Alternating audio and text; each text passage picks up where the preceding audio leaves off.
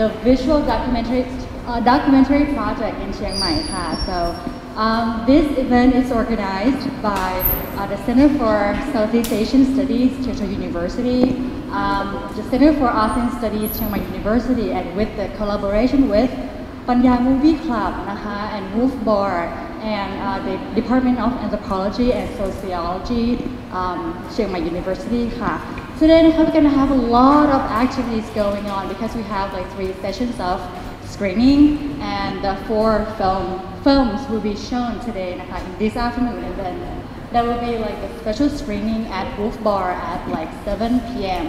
นะคะ Mr. Zero it's going to be really fun so I hope to see you all there too นะคะ and today we ha- also have our kind uh, organizers and speakers ค่ะอาจารย์ Yoko Hayami and Ajahn Mario Lopez from Center for Southeast Asian Studies, Kyoto University. Hi, please.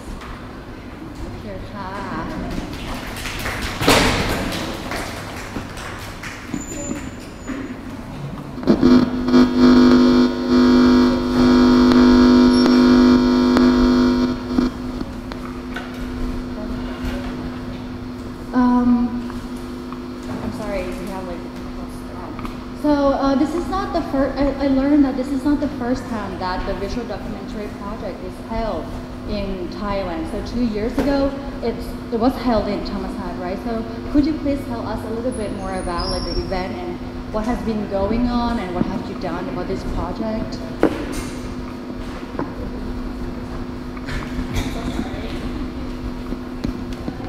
Sure.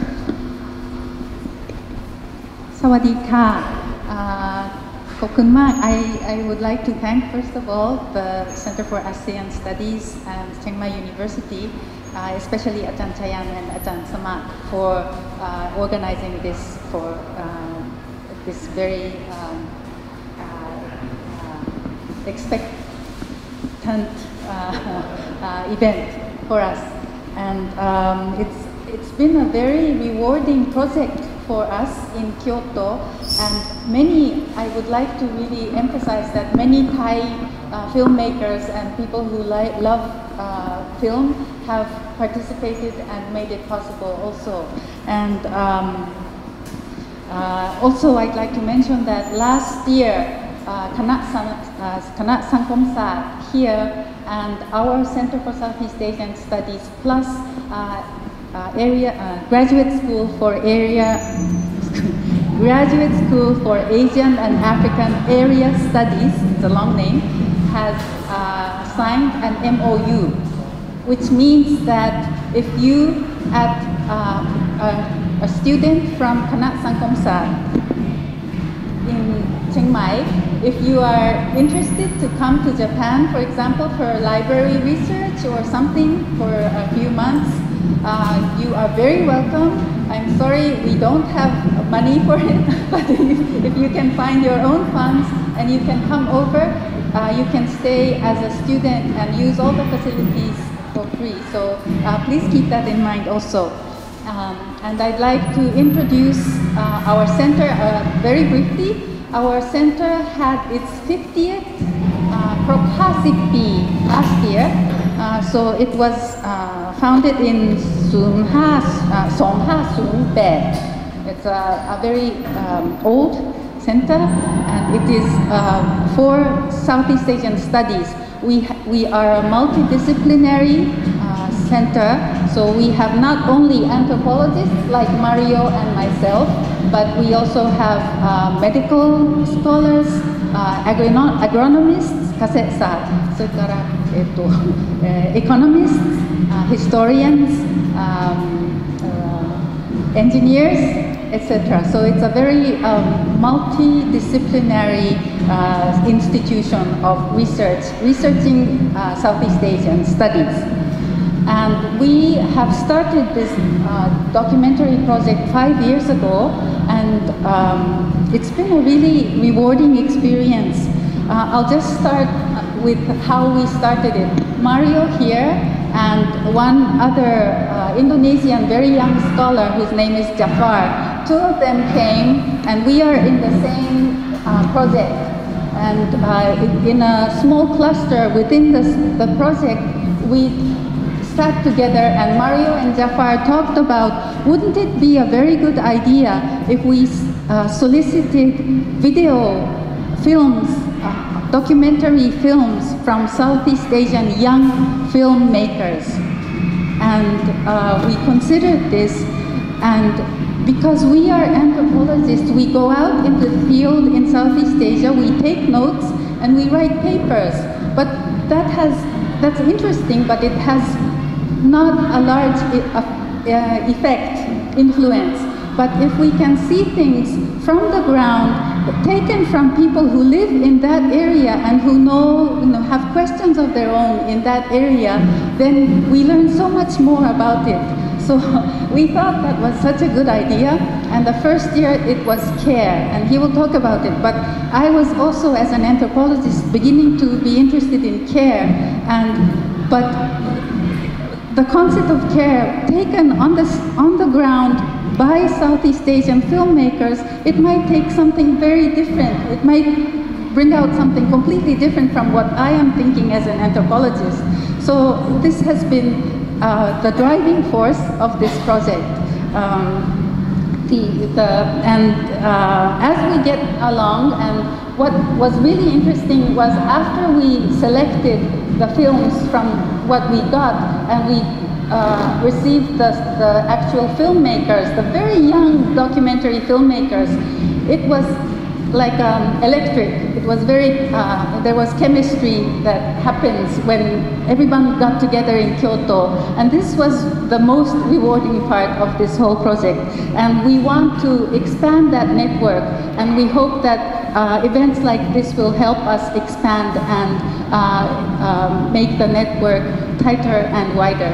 Okay. So I'll hand it over to Mario, who knows much more about it.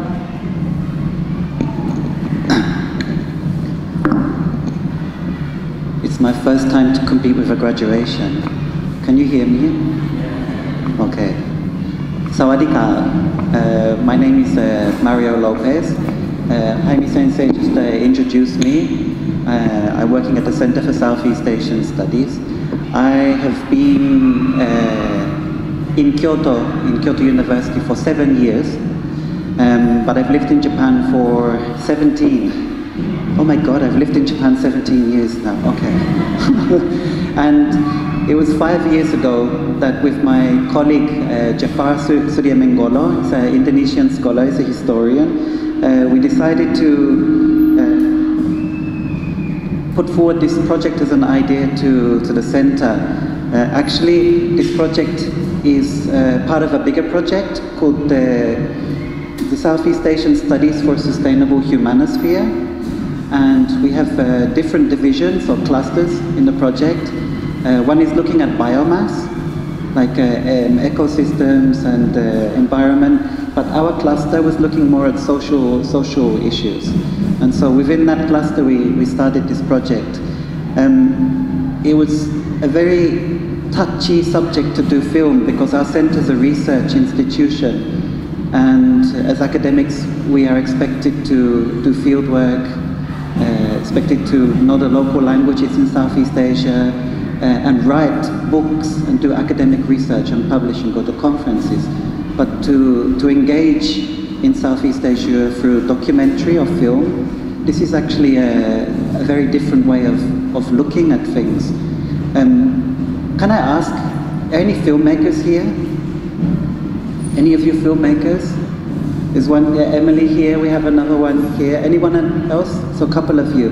Do you all love watching films? How many of you enjoy watching films? Oh, come on, you're not, if you come here today for watching documentaries. Everybody put your hands up. What about documentaries? You all love watching documentaries. Are any of you here making documentaries? The one here. A couple here at the back as well. Okay, so um, if you're here today, it's because you're interested in wanting to, to know more about how you can visualize different issues. And as we're all here in Southeast Asia, we're here in Thailand today, um, we will be talking a little bit about documentaries and screening them and uh, talking about the, the different reasons why filmmakers have engaged in some of these issues. Um, documentaries are uh, they're a window onto the world, and if you have a good story, you have a camera, and you have something you want to tell, you have a narrative, uh, you can really pull people in. Uh, a documentary, just like with film or television drama, if it's done well, it can move you. It can make you sit up and think. It can make you cry. They can make you laugh. They can bring all kinds of complicated emotions out of you. This is uh, part of the task of a documentary to, to reflect and document social life through the eyes of the documentary filmmaker, through the camera, through the editing, through the way in which they want to present a story. And this is very powerful. And over the last uh, 15 years in Southeast Asia, with the, the, the fall in price of technology, editing software, being able to shoot on your iPad or on your, your iPhone, you know, people can tell all kinds of stories which they couldn't do before. And it's, it's a very democratizing uh, influence and force actually. So five years ago we set up this, this project to, to kind of uh, tap into this, this, this fast changing landscape.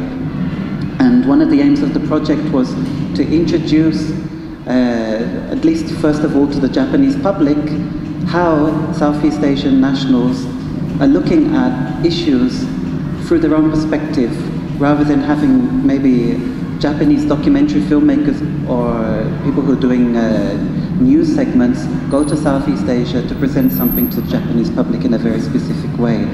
It's a lot more interesting when people, you're like yourselves, present what you see to us, and it makes us rethink how we imagine and see uh, a place like Southeast Asia.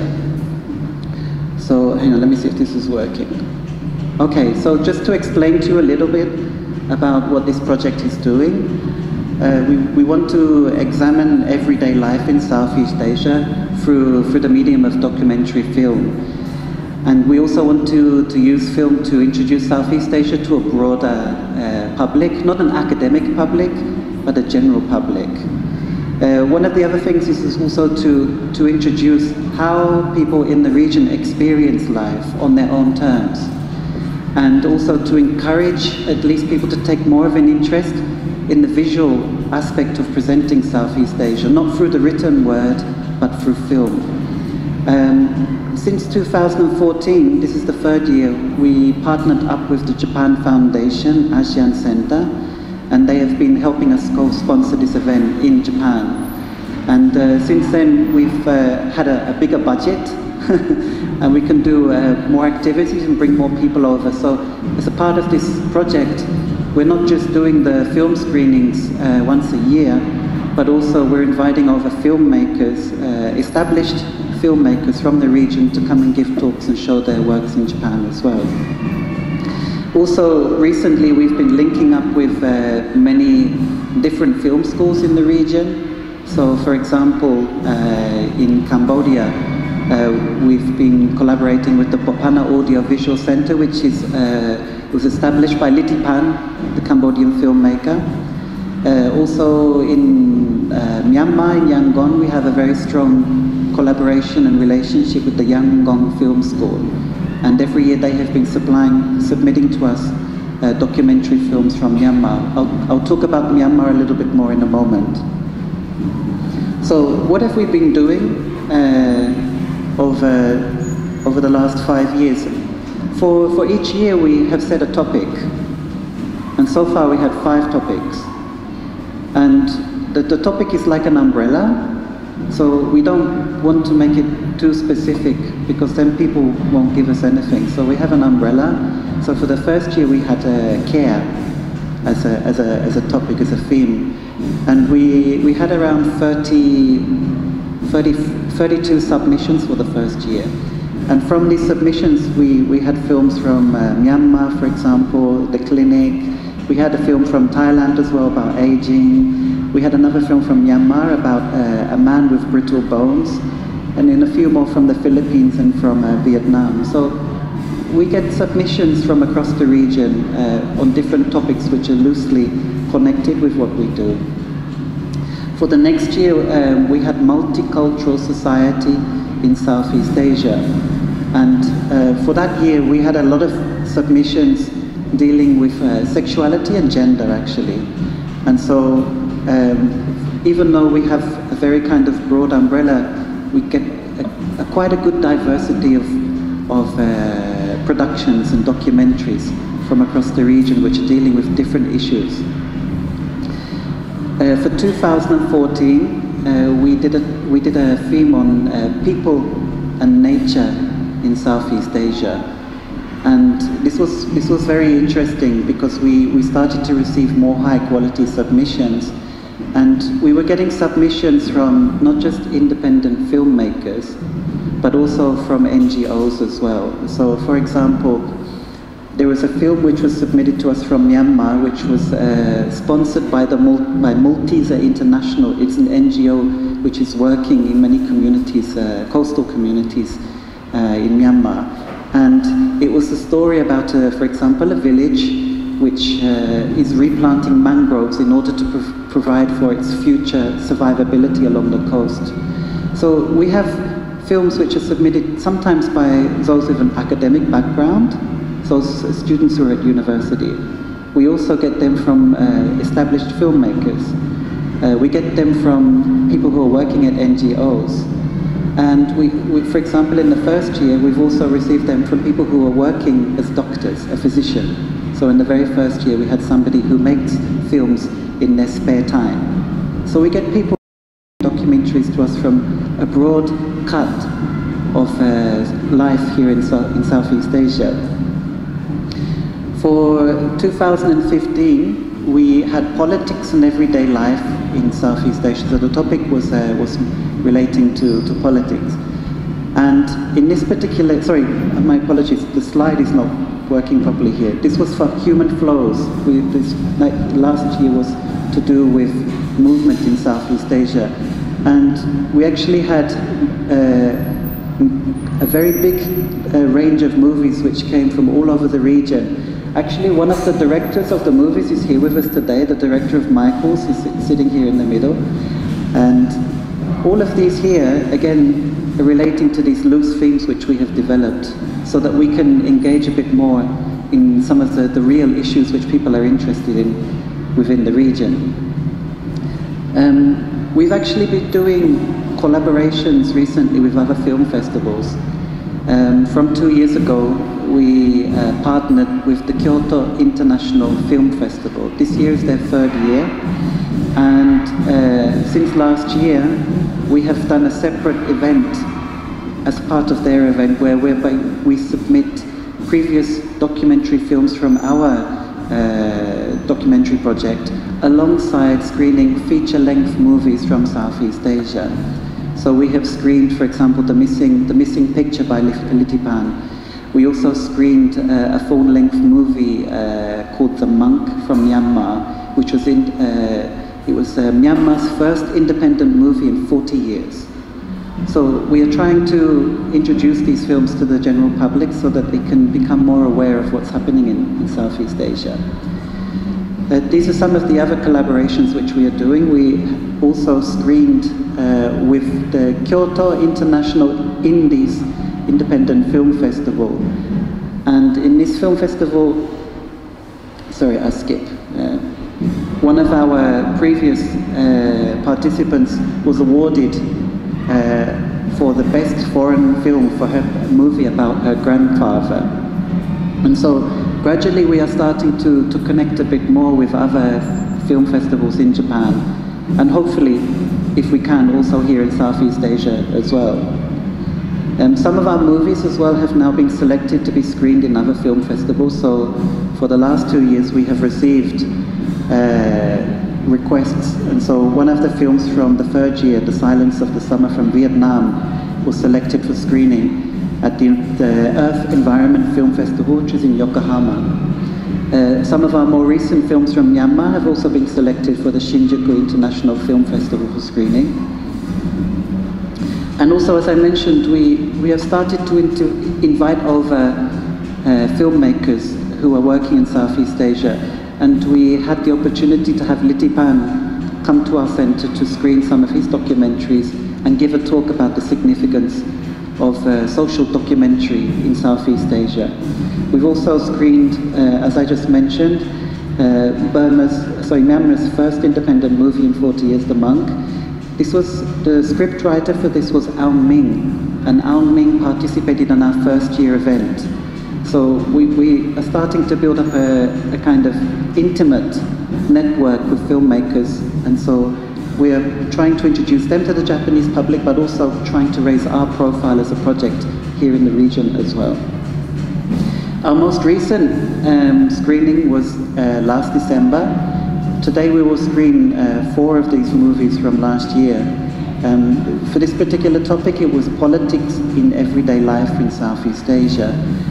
And for this year, we had almost double the submissions from the previous year. We had over 70 uh, documentary films from Southeast Asia. And what's very interesting is that we had over 34 come from Myanmar alone. So over half of the films were from Myanmar. And in the final selection, three of the films from Myanmar remained. So it was last year was a kind of a, a Myanmar film festival, actually. Um, so the quality of filmmaking has increased dramatically in a very short period of time from our perspective.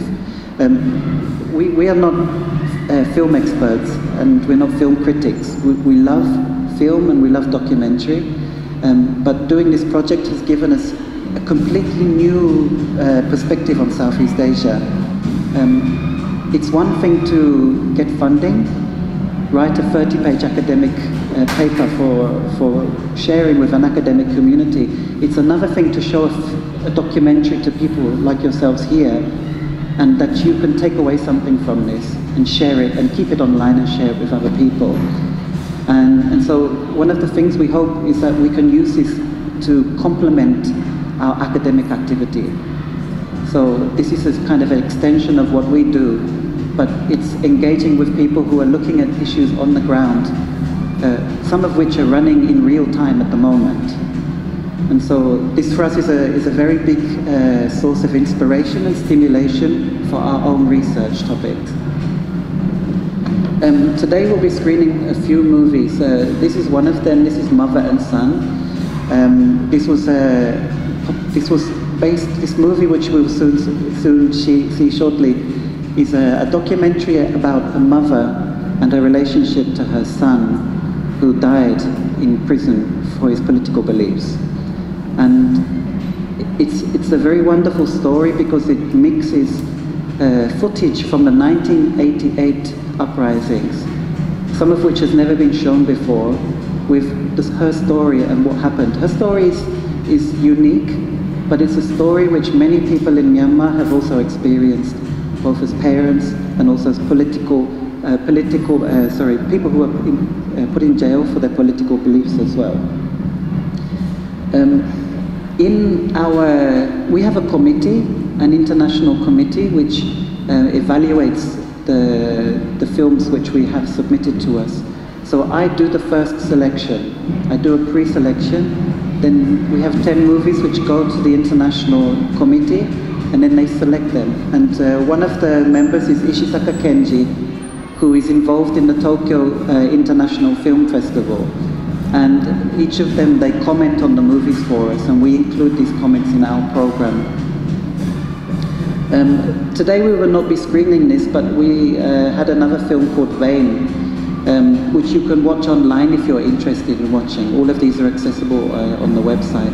And this was a, a, very wonderful film because it really exposes the kind of changes which are taking place in Myanmar at the moment, especially mining in the Kachin, the Kachin state, mining for jade. So if, if you're interested in watching some of the films that we cannot screen today, please go online and you can look us up and you can watch these uh, at home or with your friends somewhere. Sorry, I skipped this one here. So, what direction are we going to go in now? Well, it's my hope that we can continue to link up with film schools in the region, also link up with different universities like here in Chiang Mai to, to put out information so that we can have more filmmakers participate in this. So the more the more exposure we have, uh, the, the, higher the quality of the submissions. And so we hope that we can use this to promote Southeast Asia, uh, not just within Japan, but also maybe within Southeast Asia itself, linking filmmakers from different countries. Um, also to, this link is for also helping to share ideas, also topics as well. There are many shared topics like environmental change, for example, political uh, protests and political movements, democracy. All of these issues are, are in the minds of many people in, across the region. So we hope through the project that it can be a platform for people to come together and talk about these issues. And then also to, to be a bridge between us as academics and also those of you who are making uh, documentaries as well. Um, if you want to look for us, we have a Facebook page. Just look for Visual Documentary Project and we're there. So like us and then you'll get information from us. We update regularly with uh, events and uh, information from filmmakers who've participated in the project. We have a, a website, so it's a bit difficult to, to look at, but uh, we have a website where all the, the movies are archived for each year. It's in English and Japanese. And to let you know, our next year's topic will be urban life in Southeast Asia. Urban life in Southeast Asia. So we will be starting the call for applications very shortly. So if you go online, look for us and let everybody know that we're there and hopefully we'll have more wonderful submissions from Southeast Asia. Thank you very much.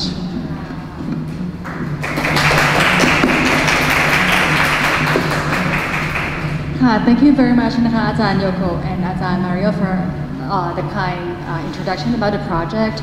And today, the next session will be like the screening part, and the movie will, uh, which will, the movies which will be shown is the Women of the Forest uh, directed by Inshallah uh, I'm sorry I lost her um, Montero. And the second one is The Last Generation from Indonesia, directed by Darang Melati Zat and Riza Andrian. Um, and we'll have like the post talk and the discussion afterwards.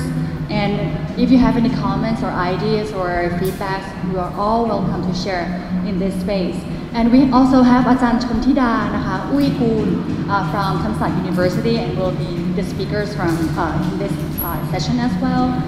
And so, um, in Thai, สำหรับผู้คนที่สนใจนะคะโปรเจกต์นี้สามารถเข้าไปดูในเว็บไซต์ หรือว่าเข้าไปดูใน Facebook ของ Visual Documentary Project ได้นะคะ ก็ Google ได้แล้วก็จะมีเขาจะมีลิงก์แล้วก็มีหนังที่สามารถคลิกดูได้เลยนะคะ ดูที่บ้านก็ได้หรือว่าดูที่ไหนก็ได้ค่ะ so shall we start for for the first session ค่ะ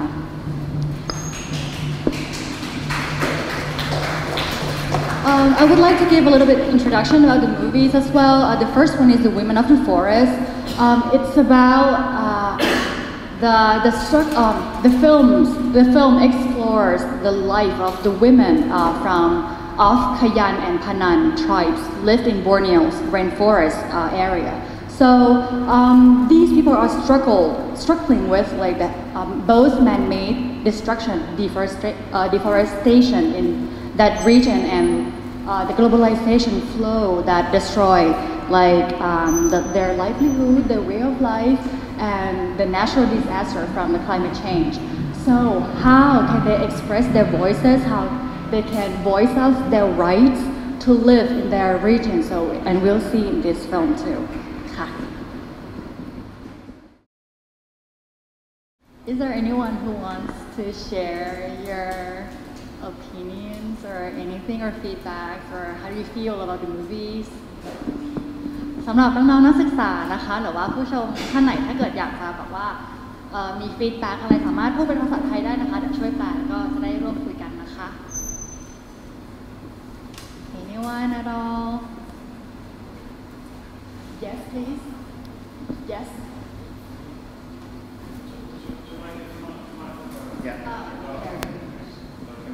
I'm used to shouting.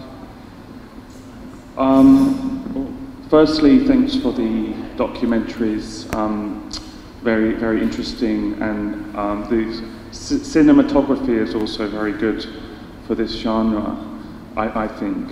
Um, but I'm, I'm, I'm sorry if I missed something in the introduction. I'm just wondering who these documentaries are aimed at. Like, what is who is the main target audience for these short documentaries? Um, Can I just answer first of all for the, the last movie we just watched? The, the two directors, um, when they shot this, they were both at uh, two local universities in Aceh. And um, they were very concerned about this dynamiting, the, the, the bombing which was taking place. It was a, a very big issue which uh, had, had been raised in the press and in, on the television as well. And uh, they actually wanted to make a documentary about this, uh, not for particularly an international audience, but more for a local audience to raise awareness about the real consequences of, of not just on communities, but also on actual coral reefs themselves. So for the, for the last one here that we just watched, that was the particular background for that. For the other one though, um, this was more for uh, an international audience actually. And I'll, I'll talk about that a bit more in a, uh, in a moment. Okay, um, I- I'm just wondering because actually the, the first one in particular, um, um, now here, here's where the, you know, the, you're, you're, you're going to start to not like me, but I, I find them quite esoteric in nature in that they only appeal to uh, sort of spe- specialists in the field. I mean, I can see they're designed to raise awareness, but I, I don't feel that these kind of movie short, documentary shorts reach the sort of intended people. Um, only, I must explain it from my experience. I was in uh, the first one, almost exactly, not exactly the same. That's a rude thing to say, but very, very similar to one I caught, watched in Ecuador called When Clouds Clear. It's about the destruction of the Mindo cloud forest in Ecuador, and this was around uh, nearly, so I guess about 15 years ago they made it, and uh, but they still it's they've, they've recently they, continued logging it and um, um, anyway I've been following the the, the, the, the news of that the, the place for like 15 years and these kind of um, capacity building awareness documentaries you know don't don't seem to do much. They don't seem to reach the right people. So forgive my cynicism about this. Sorry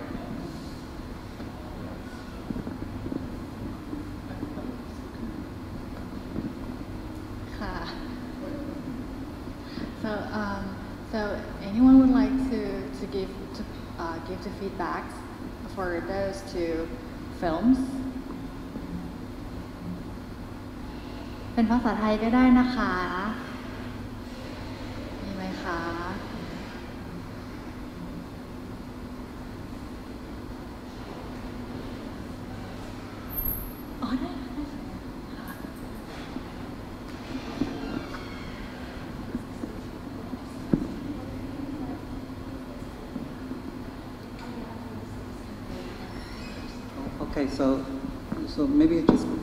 comment on the first film and then I'll pass the mic over, and then we'll both comment on the second film afterwards. Um, maybe just to to talk a little bit about the selection process for these uh, these uh, short uh, documentaries. We we have a, an international committee which is made up of uh, not not just people who uh, film critics or experts of, uh, of documentary, but also anthropologists. So we have uh, two of our faculty. Uh, Hayami Yoko's in the committee. We have another uh, professor of anthropology, Shimizu Hiromu. And um, the other international committee members are filmmakers or those who uh, are critics of film or teaching film. And the idea for having this kind of diverse, uh, maybe kind of two, two level approach towards selecting the movies is that we have this interface between academia and also the documentary world. Um, this means that there's a lot of compromise in the selection process between how we as academics engage with this material and then also how, for example, other documentary filmmakers or those who watch those, uh, maybe even select them for other film festivals, watch those as well. And, and the idea for us is to be able to, to, to try to meet somewhere in the middle to be able to provide uh, films that provide an interface between how we might critically watch a movie and maybe comment on it, like the comment we just had uh, a moment ago. These are the kind of comments that we actually make on these movies themselves, and not just to an audience, but also to the filmmakers when they come. So uh, we have asked difficult questions in the past. But um, we try to select movies that kind of uh, try to make our projects distinct in that way, that we, we do something which is different from what other festivals or projects are doing. So maybe just documentaries, but we're trying to, to address this through a, an academic prism as well. Um, if I could just talk a little bit about the, the, the Women of the Forest. Um, first of all, let me just introduce the, the two directors. They're not here today, but um, I should just um, uh, speak a little bit about Inshallah Montero. She has been uh, making documentary films since 2012. She graduated from uh, De La Salle College in uh, Manila. She has a background in digital filmmaking. Uh, she's actually made uh, four short films so far, and uh, all of them have been selected uh, for screening at different film festivals, first in the Philippines, then in Malaysia, and also for a film festival in Manhattan in New York as well, where she went for, for the screening. Um, she has also, this is not her first film to uh, deal with uh, issues which are relating to climate change. It's actually her second one. And uh, the first one that she actually did uh, was, uh, it brought her into contact with the woman, the academic who you saw in the, the film, yeah, Sunitha Bisan. And both of them, um, they met, and then uh, Inshallah said that she was interested in these issues. She'd been looking at how climate change is affecting women in the Philippines through a previous documentary. And uh, they decided that they would uh, work together. And she applied for funding, and she got funding to, to actually then go to, to Malaysia, uh, which is where, that, where she uh, shot this movie. Um, her interest arose out of a previous film that she did, which was called Women of the Shore, the hidden, burden, the, the hidden burden of climate change. This was actually screened at the COP21 Climate Change Conference in 2015 in Paris. And um, it, was, it was through her encounter with uh, many other, not just filmmakers, but also policymakers, policy advocates there, that she, she decided that she wanted to, to kind of deal with this uh, topic in a bit more uh, detail. So they applied for funding, and they got funding from the ASEAN Pacific Resource and Research Center for Women. It's called ARROW. And uh, the aim was to get funding to look at sexual and reproductive health and rights issues and how these might be affected by climate change. So they did this one particular film in Malaysia, this, this documentary which they screened, but actually uh, the project has got funding to be able to look at issues in uh, Bangladesh, Indonesia, Laos, Malaysia, Maldives, Nepal, Pakistan, and also the Philippines itself. So this is part of an ongoing dialogue between uh, not just her, but her as a network of other researchers, scholars, activists, and people who try to influence policy makers through uh, their academic uh, activities and also through the medium of film as well, which is uh, what this uh, particular documentary has tried to do. Uh, so let me just talk about Sunitha Bisan as well. Um, she's actually trained in gender and development studies and she got her master's from the Asian Institute of Technology in Bangkok. And um, she has been working on gender and sustainability for, for almost 10 years now. Uh, she's focusing on community-based gender education, advocacy, and also knowledge bridging. Um, this was a fundamental guide, she was a fundamental guide for Inshallah Montero. So Inshallah is the one who shot and edited this documentary, but actually uh, Sunitha Bisan had a fundamental input into this. It was almost 50-50. So it was Sunitha who invited her to come to these communities. Uh, she identified where she was working and said, you might want to come here and, and uh, shoot your documentary. And uh, she actually left, inshallah, in the communities on her own. And she, she then only came back at the very end of when she was shooting to, to when she was in the film to, to be part of this, to, be interviewed, to give her opinion on what she's doing as an activist there as well. And um, the documentary as well, if you notice, it's got a subtitle, and the subtitle is The Hidden Burden of Climate Change. And, and this is key to understanding the, the kind of aim of this particular documentary.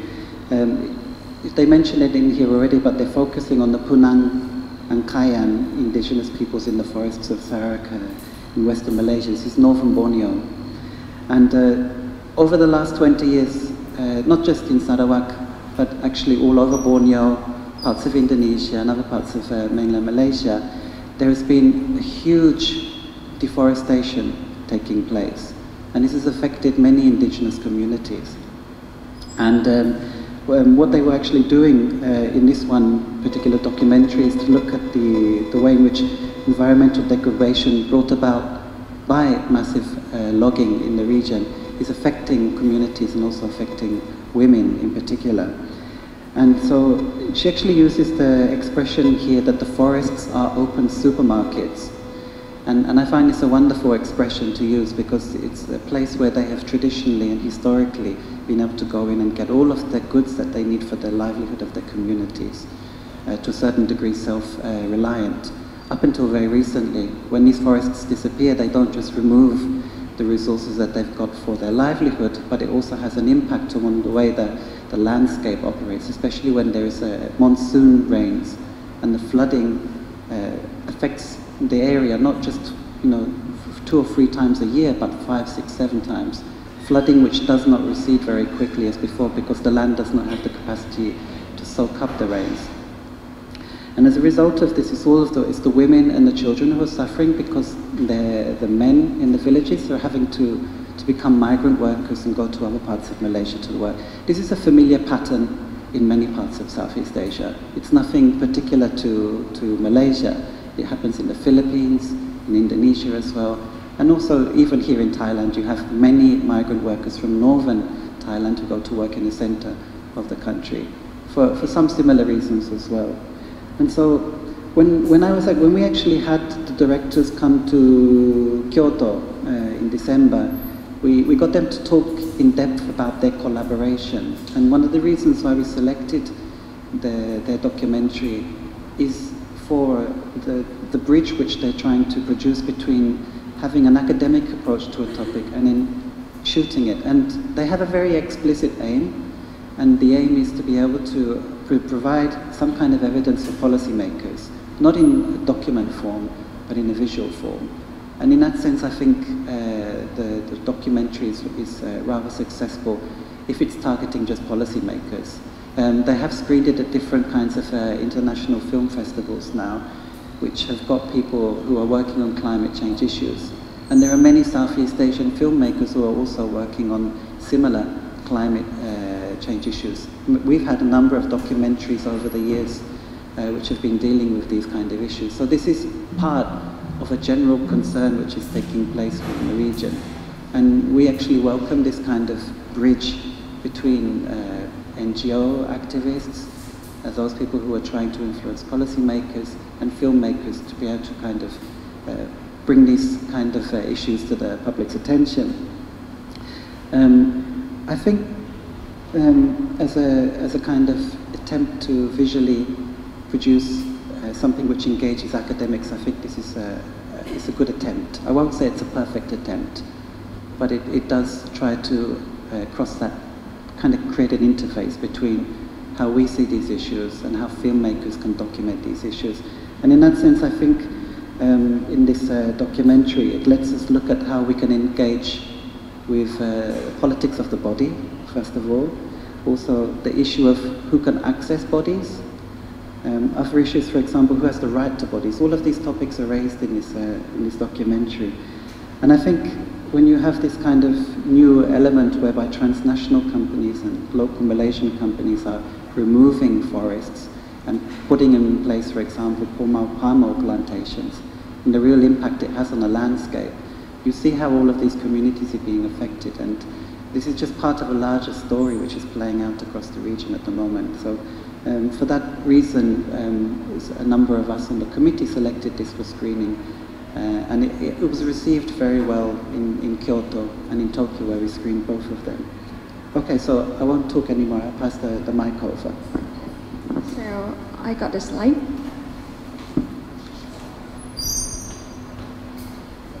Okay, so, um, I'm Chontida Auikool from Thammasat University, and I was assigned from the organizer to talk about this, the second films, The Last Generation.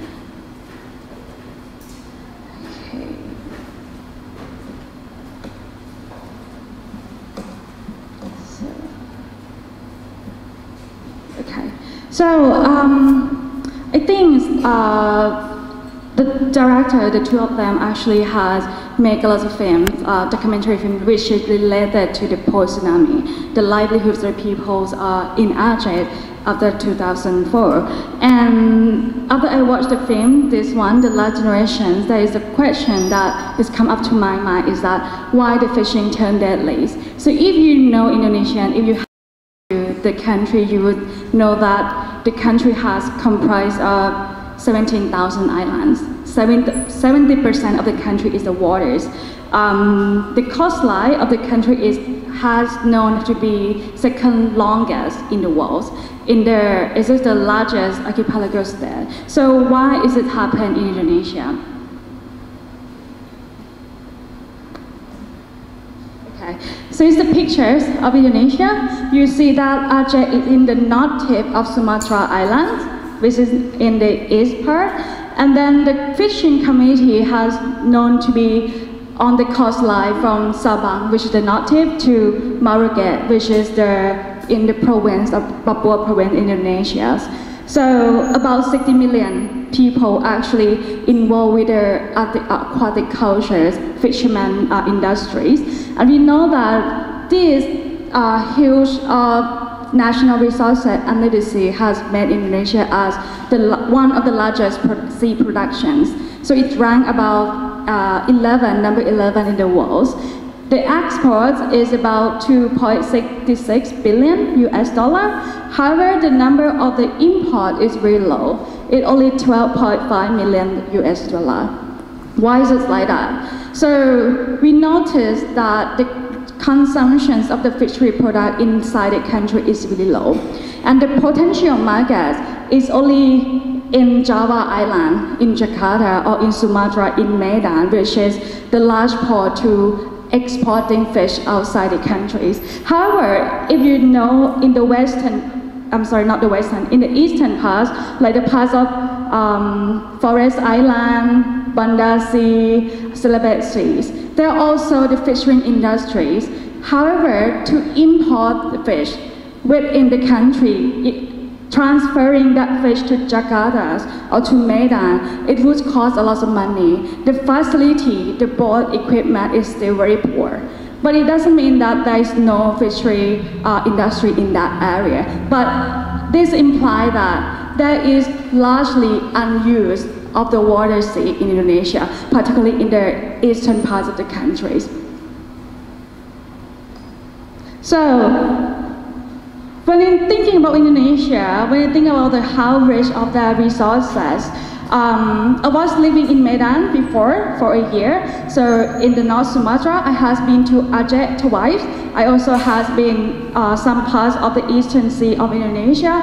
So the question is that why these occupations, the fishermen are not going to have that job anymore. So what happened? And I see that the film had yes covers on the aspect of what happened in the countries. We see that um, the talking of dynamite fishing, the talking maybe tsunami, which is uh, after 2004, has destroyed a lot of part of the country, has destroyed the ports, destroyed the harbors, and also destroyed the area of the fishing area. The coral has turned to be dead. But that's not the main reasons. What happened in Aceh and also in other parts in Indonesia uh, the declines in the fish number is occurred before that. So is it the tsunami? Is it because the illegal fishing activities? Is it because the state policies? Or what actually is the main, maybe combining factor which lead to exploiting of Sumatra oceans? As you could see in, this, uh, in the film, dynamite fishing, which is uh, the use of explosive tool in order to catching the fish had truly destroyed the life of the sea dwelling inside the sea. also have immediate effect to the coral reef, which is the home of the numbers, number of diversity of fishes.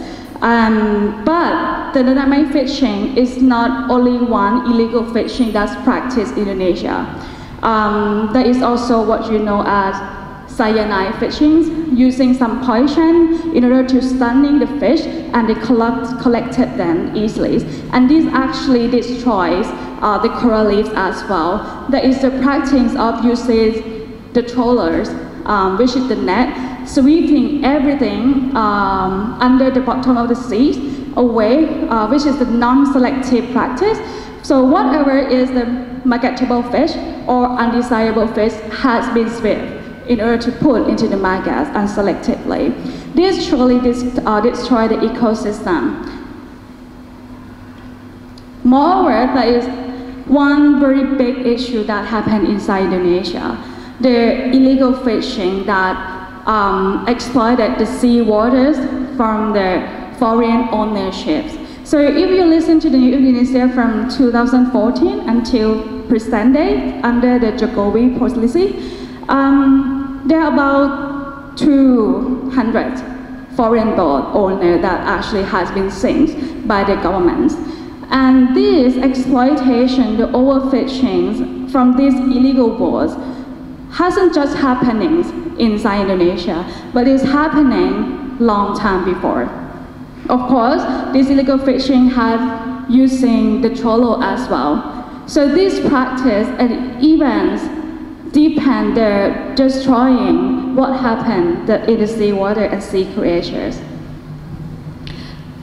I watched this movie and I certainly think that when we talk about the overfishing in the countries, when we talk about um, the decline numbers of the fish, this is actually related to what you know as the human rights violation of the fishing worker. So the commercialized fishing worker has been exploited and it's shown as the evidence of how the fishing has been overfished, overcatching in this area. So this is one movie which is had fun by uh, Netherlands and it's called Jermals. So from this picture is the porter of Jermals.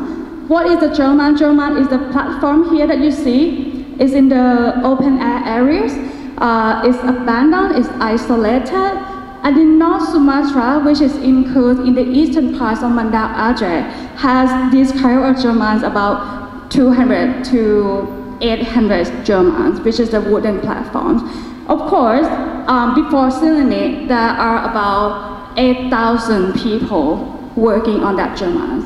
And most of them are children. So they are about 17 to 14 to 17 years old and as young as 12 years old.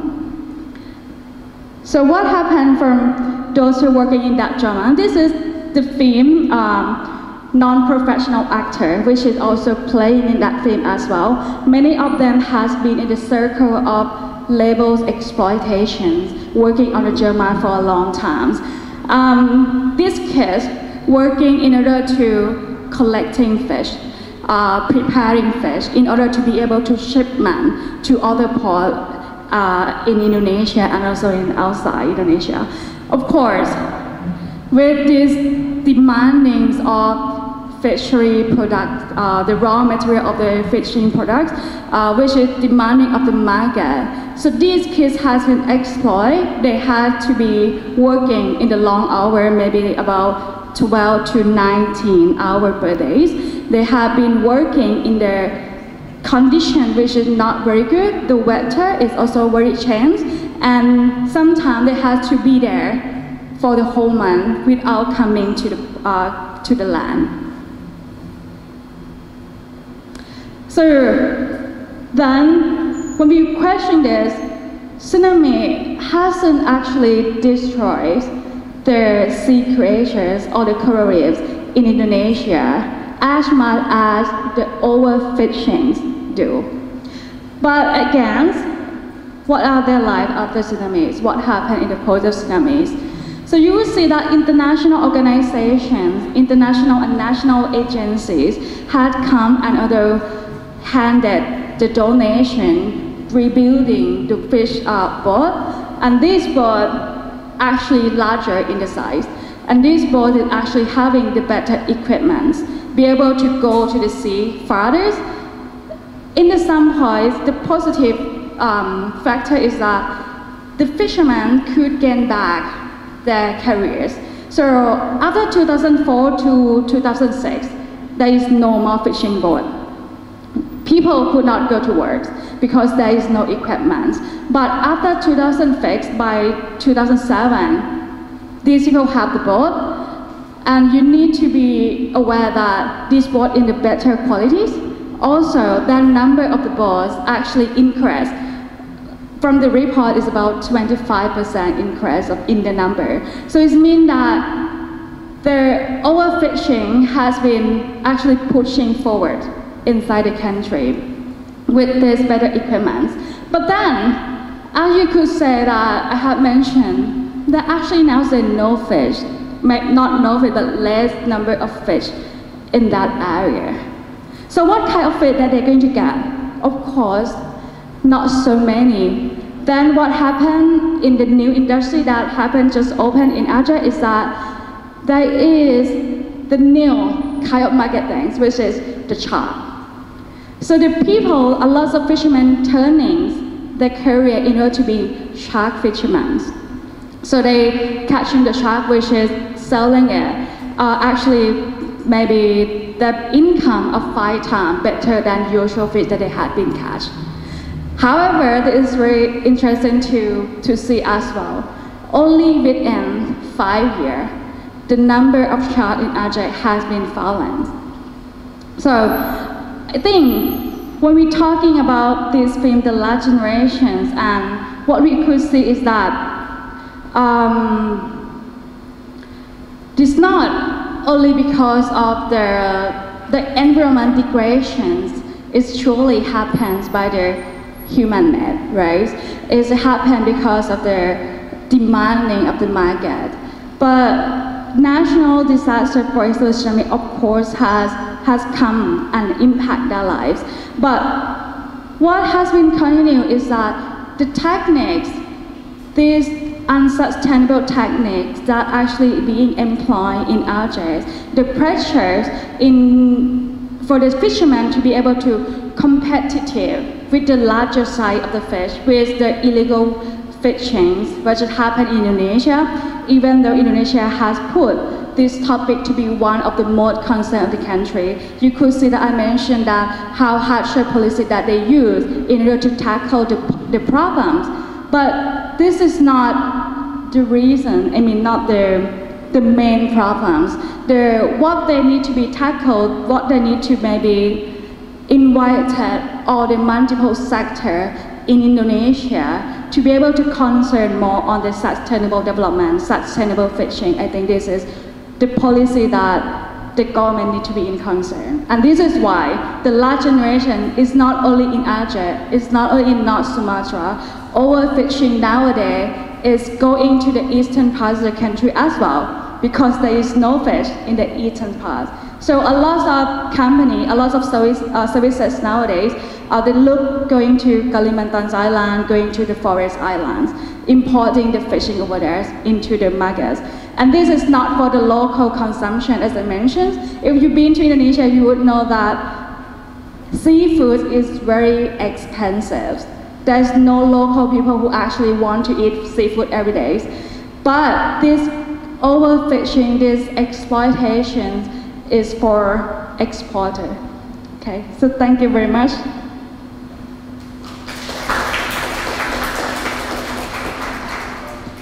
Uh, so thank you very much for your insights about the process of selecting the films and about making the films the first one and for your information about like the Jamal, is that correct? It's really interesting how how um, you address all the, the causes of like the uh, the fish stocks uh, which is decreased in, in that area. So, um, does anybody wants to express your feedback or opinions about the films? it can be in Thai also น้องๆนักศึกษาสามารถคอมเมนต์ได้นะคะ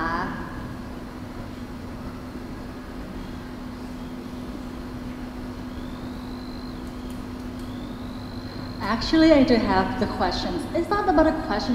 It's just about like um, uh, the. It's not the missing pieces also, but uh, when I I saw the first one, the Women of the Forest, it's really interesting how how all the women includes everybody of all ages. Like in many regions in northern part of Thailand or any other regions in Thailand, uh, when they uh, encounters the problems of like um, the young ones going to the city to work, just like in this one. So the only the uh, the older people or babies are left in the community. But this one is really interesting when uh, women, like young people, teenagers, like young ladies, are all in the village also. So I think it kind of shows the strong bond of women in that particular community with within like the group itself and with the nature also, how they cope with, um, even though that's not like the, the real solution of the, the natural disaster, but how they cope with their lifestyle. I think that it's really interesting. So. I make a comment as an anthropologist. Um, when we watch these documentaries, we, we, we try to think about how it's all put together. And so uh, at our center, we have people who are, for example, who work with these tribes, some of these indigenous communities, like the Kayan, for example. And so they have a lot of background information which they can give us through their own fieldwork experiences. And um, it's one thing to present a story edited, which is maybe been trimmed down from 50 or 60 hours worth of filming to 30 minutes. Uh, and it's another thing to actually do field work and actually know the, the real dynamics taking place there. And so uh, we select these for screening, but at the same time we, we ask questions about how it's presented. So do we really get to see the, the true dynamics of what's actually taking place, of who is left behind? Uh, in other words, are we seeing a broad stroke, a brush stroke, or are we seeing fine details in there? Because as anthropologists, we, we have our own research methodologies as well. We go into a community, we make friends with people, and if we commit ourselves to one place to do research, maybe over 20, 30 years, we will grow up with those people we interview, and we will get to know their lives in detail. What you, in effect, see here in the documentary is just a snapshot.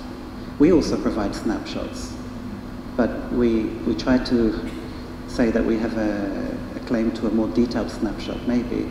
But it should not um, from the way in which a story is presented if there is a, a narrative to be told. And so uh, I know sometimes, for example, I feel there are shortcomings in the documentaries when I watch them as an anthropologist, but if I watch them just for the, for the information I can get out of them as a documentary, then there's also something to be had from that as well. So the, the whole way these are presented and what you see here, is it, is it just truly a women of, a community of women? Uh, what is the, the, what's the, the ulterior motive of the, the director and also the, the researcher when they want to present these stories? And we, we can, at least in our center as well, because we have a strong network of researchers there, we can kind of look at the background a little bit. So in our last screening, we had a number of professors who were experts in the areas where the films are shot and screened, and they actually offered commentary uh, on each of those uh, films and also on the background there as well to, to kind of give a more uh, detailed feedback from an academic perspective at least, so that we can put the two together. Okay, sorry. Thank you. So any comments? Yes.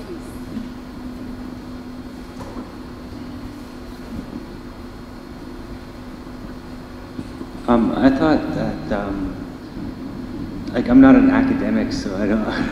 I, I, appreciate the academics who can give us these this information, but I thought that first film did a really good job of like helping me feel what they feel, and as just a regular regular person um, who's unaware of those people, I didn't know those people even existed. Um, it gave me a really good, uh, it, it, gave me a face that I could put to the information of dis- deforestation. So I think um, it was really well done in that. So my question is, do you think that as they were planning to do a documentary about deforestation and the impact on this community, that that they plan to have these uh, other issues come out, or do you think that that was like something that just happened and they were really good about capturing it? I, I don't know if I'm fully qualified to answer that question, but uh, in a way, I would say yes and no. Uh, yes, in that they, they have uh, funding which specific, with a specific aim in mind to produce something which will influence a certain set of people. But at the same time, when it's screened and we have the discussion with the director and the, the researcher, Sunitha Bisan, all kinds of questions come out which uh, stimulate the ways in which they have actually shot it and sometimes makes them think about things that they might have not realized.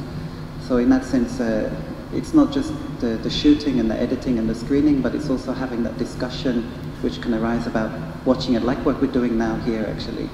And uh, although they're not here today, um, when they were in Japan, um, there were many questions which had stopped them dead in their tracks. Uh, you know, who, who is the film being aimed for was one of them, and they were very clear about that, the policymakers. But when it came to questions about, you know, how do you situate these particular indigenous groups within a larger picture of climate change and its effect on other people, uh, you know, the, the answer that they gave was, well, we need to, to do this and, you know, link it up with other kinds of case studies, visual case studies, to see if we can draw out a, a bigger, more general picture about what's happening in uh, Southeast Asia, for, for example. So these, these kind of discussions are very uh, important to, to kind of bring out more uh, to, to how we can kind of look at these and appreciate them anyway, the documentaries themselves. Yeah, I think they did a, like a really good job of the human to human impact. Like me as just a human, I really I can feel that. I have, an, I have one more question. As as a documentary filmmaker, is there like a is there a certain process that that you that you think of um, when you're drawing out stories? Like, um, so say you have a topic that is like migrant workers in Thailand, and, and you start interviewing. Um, what's what's the process of drawing out those stories that really give that human to human interaction? Are you a documentary filmmaker yourself? yeah, I like to be. very, very, very uh, part time. Okay, I'm not a filmmaker at all, so I, I, very difficult to answer that question. But if I'm thinking about the process of when we do field work and then we have to write it up, we, we always start from what we've collected. So sometimes you might have an idea about what you might want to say, but you collect I don't know, maybe 30 hours worth of uh, interviews. You go through these, compare them, and then you locate them within the broader picture of what other kind of research has been done in the area, compare that to what's happening in other regions, and, and see if there are any kind of differences or, you know, something that can be said which sets, sets out, creates the uniqueness of your own research. And I don't know, maybe with making a documentary film, you might go in and shoot something, and then from that you might draw out something which was very different from the original kind of focus or purpose you might have had in the beginning. I, I, I don't know, but maybe, maybe you could answer that question. I was hoping for a magic bullet. Thanks. So thank you very much for all the comments and feed, feedback and อาจารย์มาริโอแล้วก็อาจารย์แป้งนะคะ So I would like to move on to the, uh, the next session